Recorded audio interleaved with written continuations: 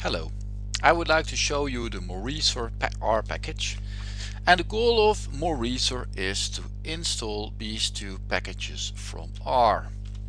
mauricer is part of Babette and Babette she's a package suite to do a full Beast 2 workflow.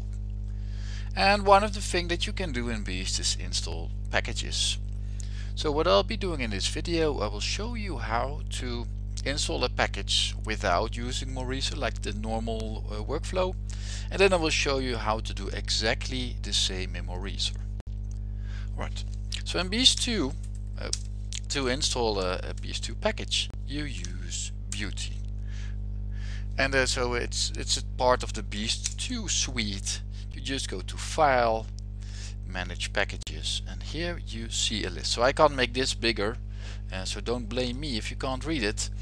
But um, this shows us a list of packages that with their names if they're installed yes or no their latest version etc so uh, let's take a look at Bacter so that's the second package. It's not installed yet because this cell is empty and the latest, latest version is 2.2.0 well it's very easy to install. You just click on install and then um, the package manager will install it. It says yeah that worked and when I'm done I'm going to uninstall it as well.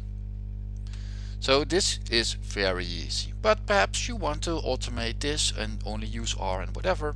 So this is where mauricer comes in. So I'll be closing BEAUti now. And I'll just go to the mauricer R package. And there's one vignette called demo. And I'm going to knit it like a convert to a document here live so that you can see that it works now on my computer and this demo will do exactly the same as I just showed you. So of course you need to load mauricer and we're going to use testthat to check if what I'm what I've claimed to happen is true. So the first function we'll use is mauricer list. It returns a data frame with all the Beast2 packages. And of these packages I'm going to take the top couple of them and display them as a table which we see here. So here we see a similarish uh, data frame table as we've just seen and we see that Bacter is not installed on my computer now.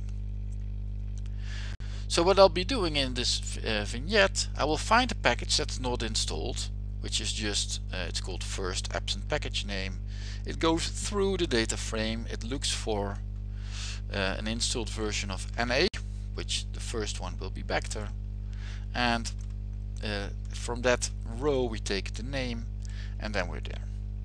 So the first absent package name will be Bacter well let's check just for sure uh, mauricer is installed. Let if it's installed it should not be installed. So mauricer is installed of that package name Bacter should be return false and indeed it does. So that's great to install it, that's easy. You just use mauricer install and then that package name Bacter.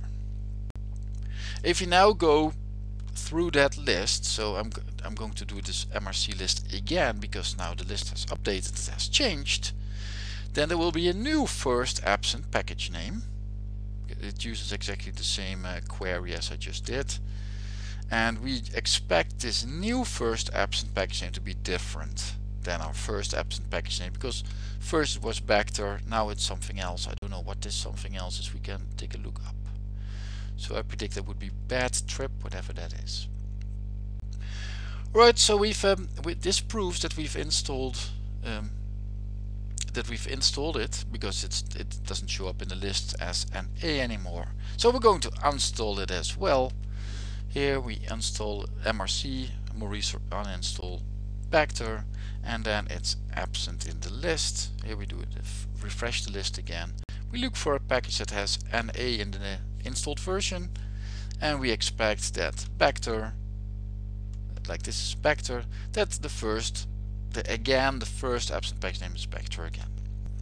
So this shows you uh, how to look for packages using MRC list, how to install a package using mauricer install, and uninstalling a package using mauricer uninstall. And if you're curious, you can also use MRC mauricer is installed just